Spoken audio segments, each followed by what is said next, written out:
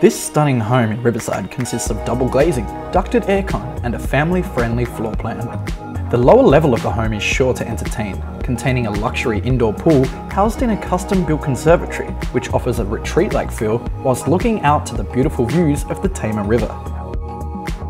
With a dual driveway already existing, there is the ability to turn the lower level into a self-contained unit, leading into the future prospect of tapping into the Airbnb market.